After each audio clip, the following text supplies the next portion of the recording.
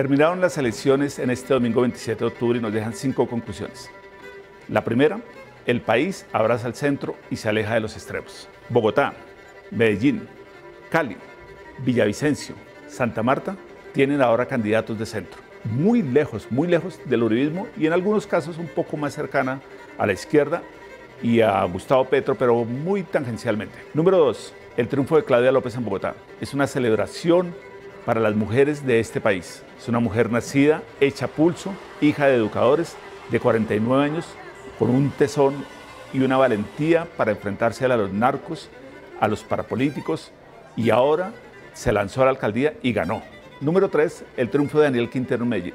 Contra todos los pronósticos se impuso en la tierra de Álvaro Uribe. Luchó contra él, luchó contra la campaña sucia que le hicieron y sobre todo le ganó a Ramos y a todas las encuestas que le dan como perdedor. Es una voz fresca que se presenta como una alternativa y ahora tiene en sus manos la segunda ciudad en importancia de este país.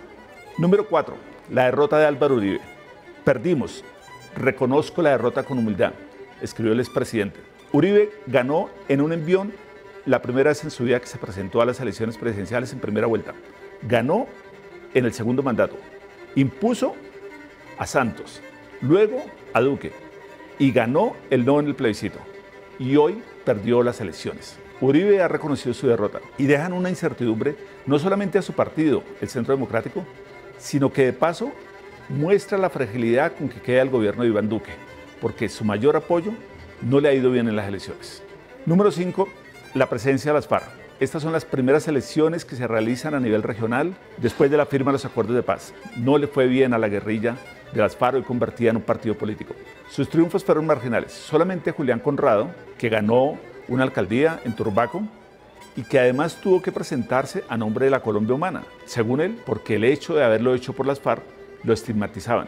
Esto demuestra la gran dificultad que tienen los hombres de las FARC que alguna vez estuvieron armas para hacer política legal. Estas elecciones son curiosas porque la gente no las toma como un termómetro para medir al gobierno de, de turno. Sin embargo, en este caso toca hacerlo. El presidente está a dos años y diez meses de terminar su mandato y ahora tiene todas las ciudades capitales en su contra o al menos con candidatos elegidos que piensan y están en orillas distintas y tiene una dificultad mayor. Los ganadores de las gobernaciones en departamentos donde hay mayor número de cultivos ilícitos se oponen al uso de la fumigación aérea con glifosato. Duque ha tenido muchos problemas de conflictividad social y ahora seguramente el panorama no le luce nada halagüeño con estos candidatos que van a estar en el poder y que se van a oponer a una de sus políticas.